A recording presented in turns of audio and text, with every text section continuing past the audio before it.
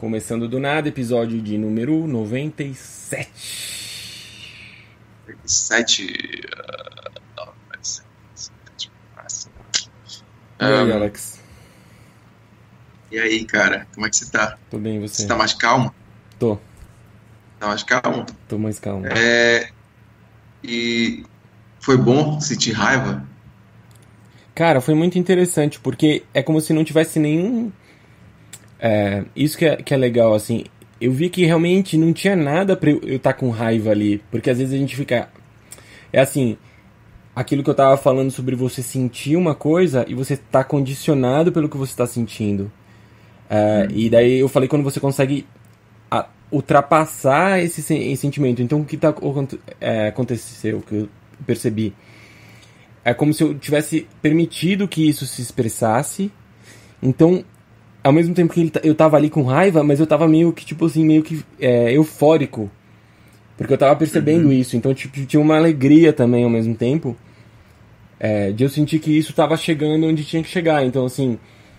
e- então eu não sei por que é, que foi acontecer com esse assunto ou desse jeito, mas.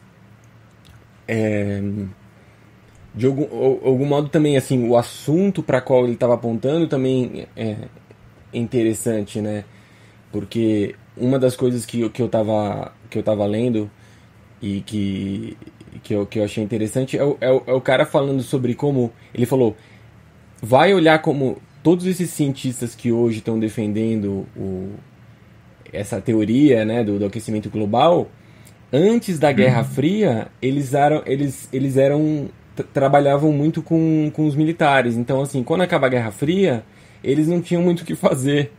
É uma, é, é uma, teoria, é uma teoria muito interessante, né? Então, então co- como que a gente vai gastar nossa, na- nossa energia, né? Então, onde que a gente vai aplicar isso? A gente precisa gerar orçamento para essas pessoas, para elas se manterem. Então, saiu de uma guerra fria para uma guerra climática, ó. né?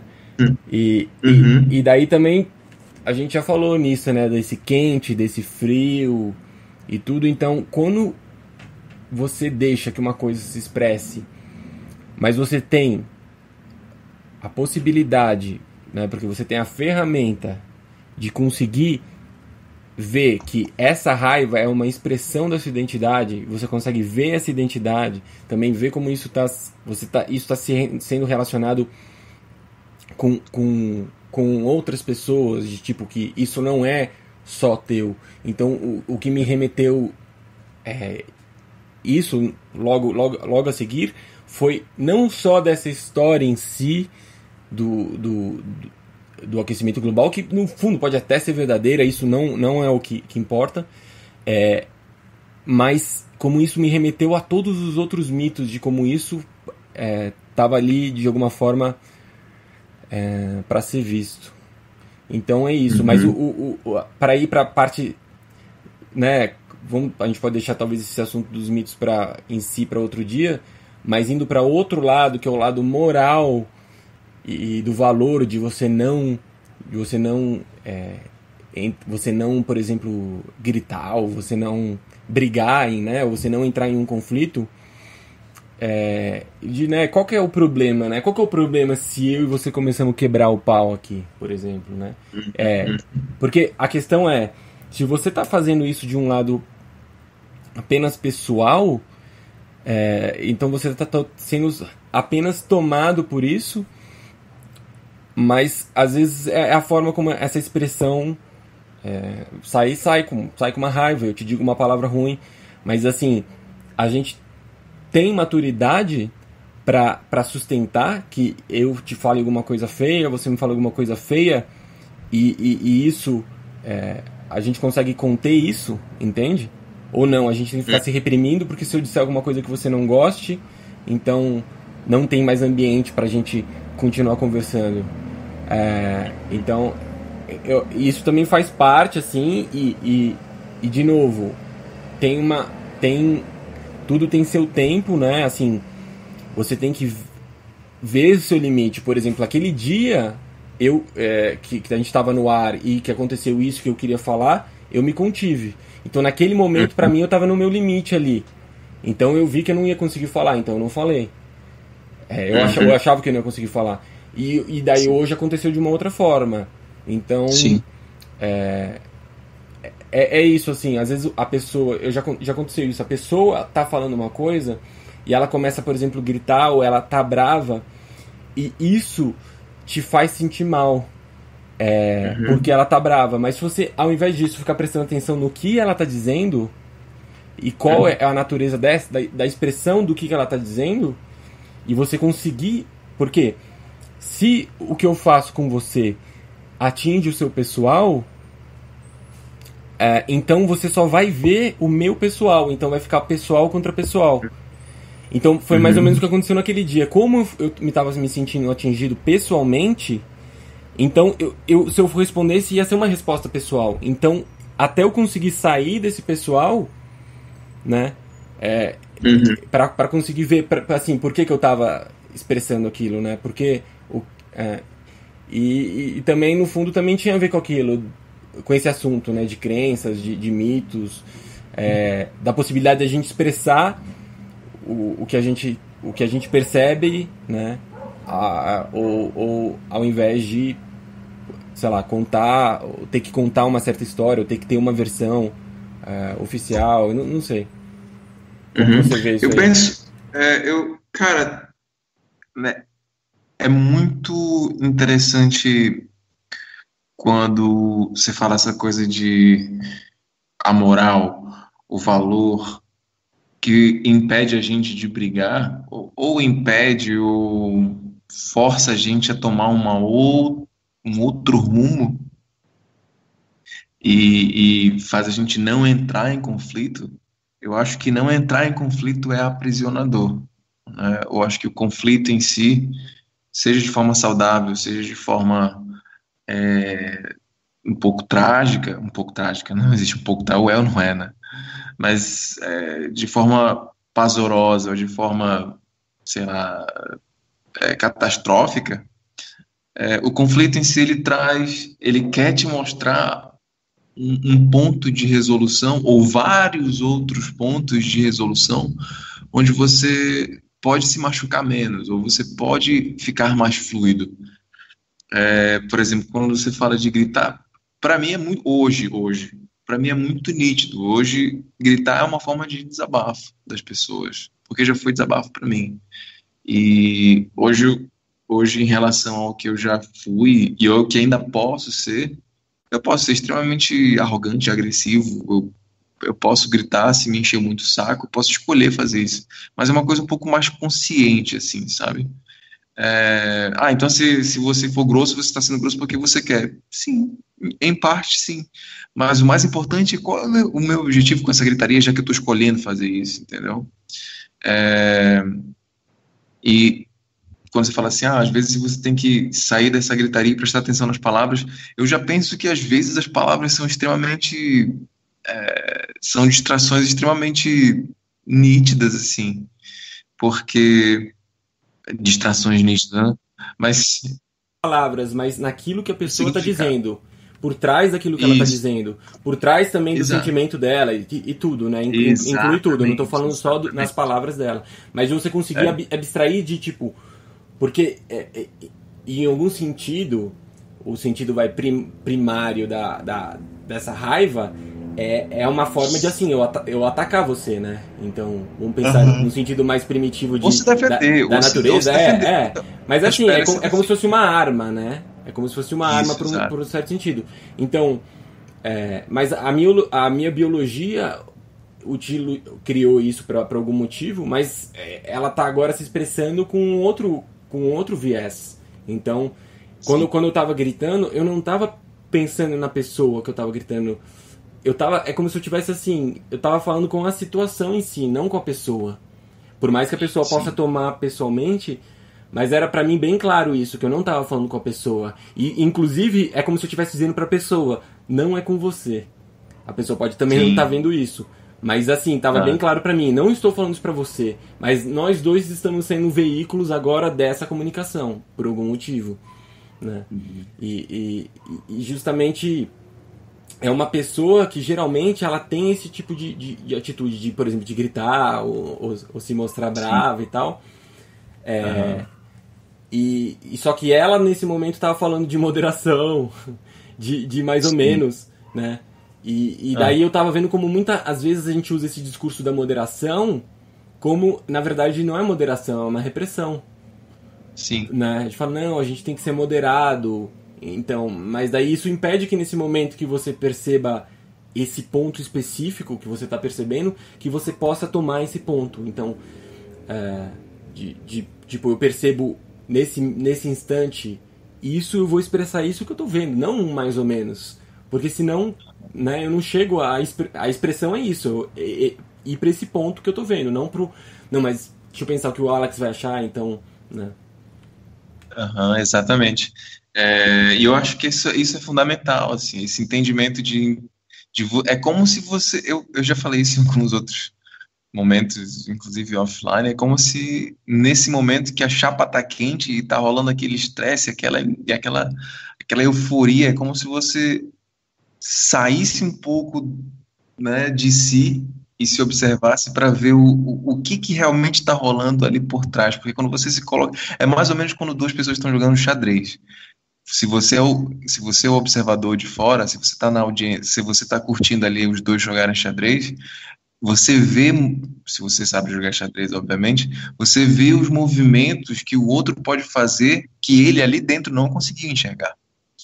E, e aí é um momento que eu é por isso que eu digo que às vezes estar nesse ângulo onde você está no um para um, cara a cara, isso não te deixa ver outros ângulos que podem fazer, que, que te servem, que esse ângulo que você está vendo te serve como uma certa distração. Porque quando a gente, é como se a gente tivesse com raiva, a gente bloqueia certos filtros de entendimento e acaba meio que é, focando, direcionando todo o nosso entendimento para o significado das palavras.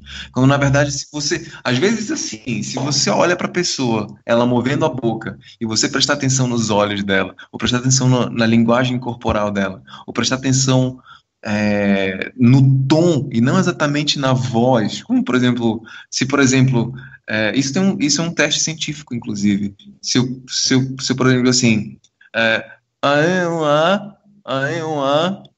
você não vai entender porra nenhuma. Se você disser assim, participe do nada, e disser esse aí um A, você vai, você vai associar isso ao participe do nada, porque o som é parecido. Essa entonação, ela é equivalente a esse som.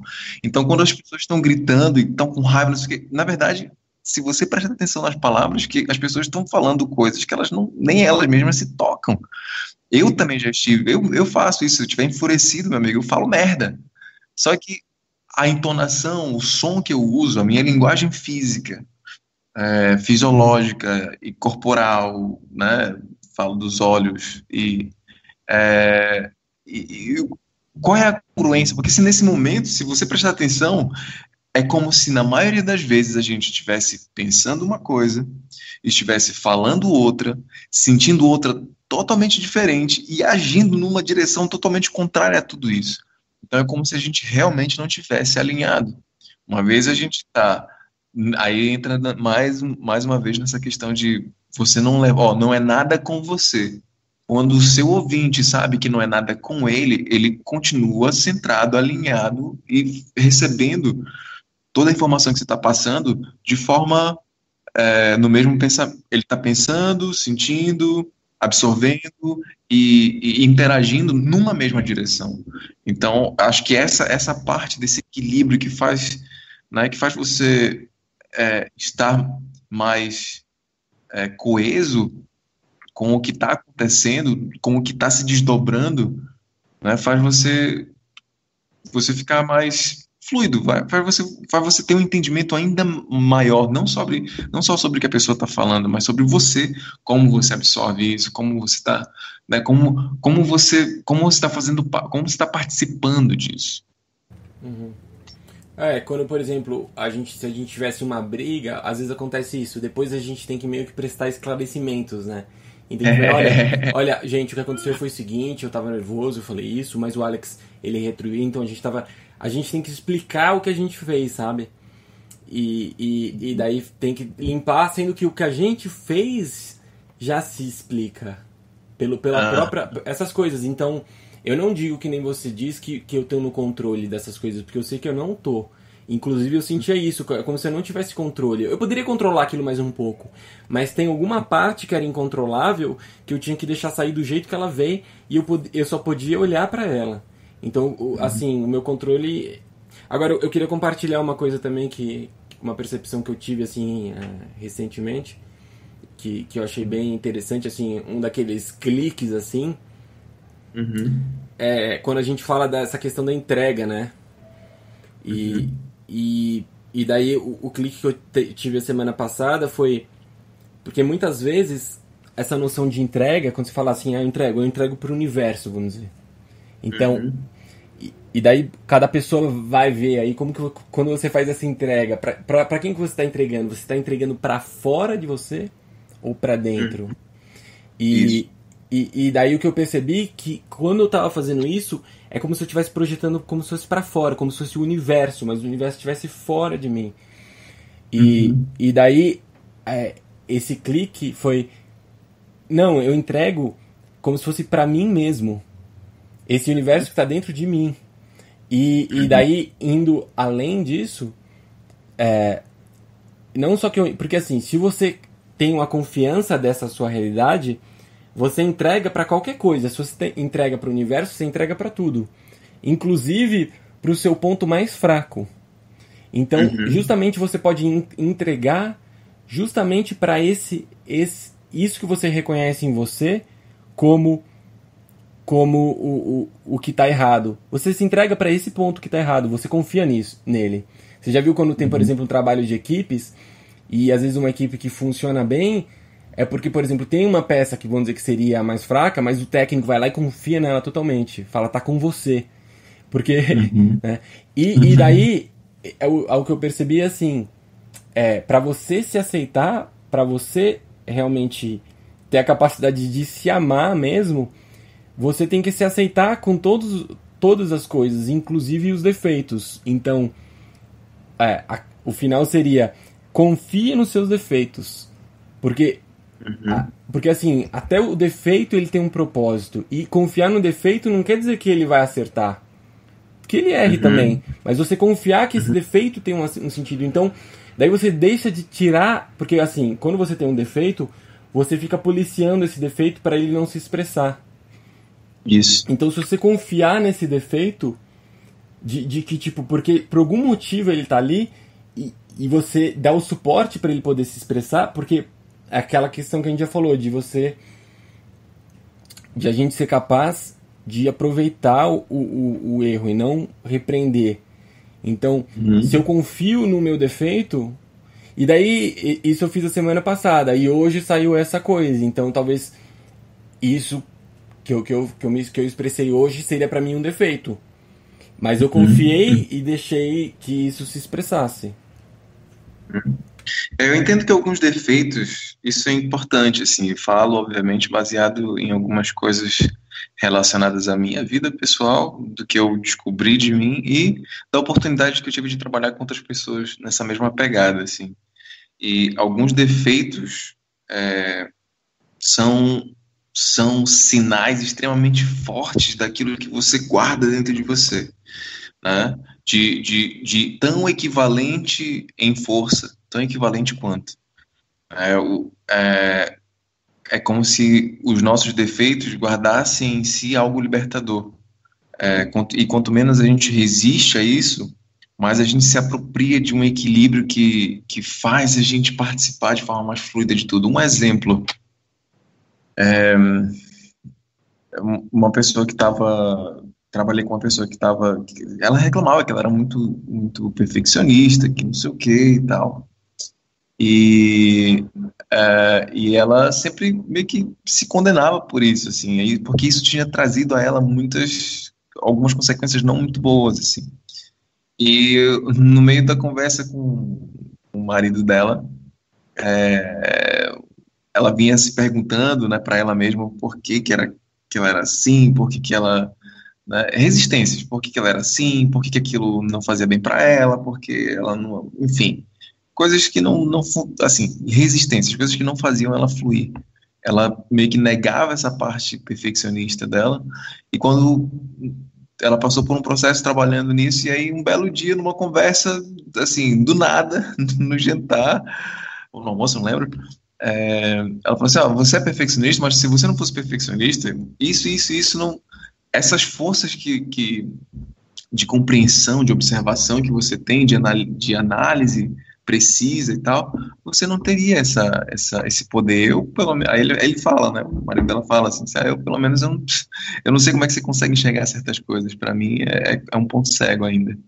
E, e, e, acredito que seja isso, né? Os nossos defeitos guardam em si coisas que é, têm a ver com, com habilidades, com, com coisas que, que libertam a gente ou que equilibram a gente.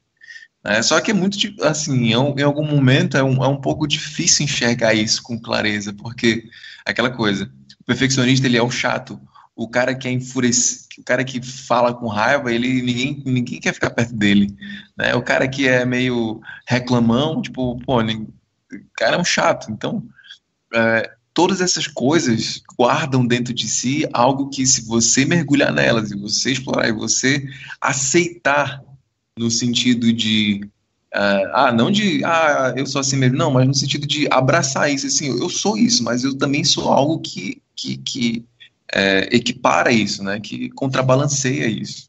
Então, é mais uma questão de sim, de descoberta, de aquilo que você falou, de é, tem um princípio hermético que fala é, o que você vê dentro é o que você vê fora, e vice-versa. Né? Então, esse universo que está aí fora, com, toda essa, com todo esse vazio que sustenta os planetas, essa mesma força, essa mesma, essa mesma sustentação está dentro de você. Então, para quem que você né, é, vai entregar essas coisas que você tem e sente vontade de entregar ou de se entregar, né? Para você mesmo ou para o que está fora.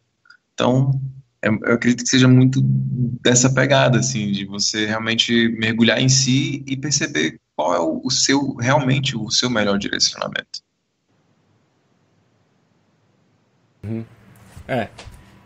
Bom, eu acho que esse episódio A gente falou aqui. sobre coisas importantes, sim, com certeza. Uh, é isso aí, galera. Manda um, manda um abraço aí pra gente, comentário, o que, que você acha que é, que não é, concorda ou não. Aí no Spreaker, no canal do YouTube do Nada, a gente tá com canal novo aí em breve no ar. Uh... Uhum, já tá no ar ou não? Não, não, vai, vai entrar. Vai, porque a gente vai entrar em recesso, inclusive. Né? Mas aí a galera não fiquem com saudade, a gente vai estar tá trabalhando ali nos, nos bastidores daqui e ali. Então fique de olho que, que a gente vai estar tá presente. Falou então. Um abraço a todos. Valeu.